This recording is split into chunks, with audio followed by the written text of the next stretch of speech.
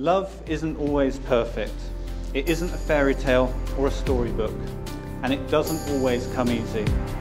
Love is overcoming obstacles, facing challenges, fighting to be together, holding on and never letting go. Love is work, but most of all, love is realizing that every hour, every minute, and every second was worth it because you did it together.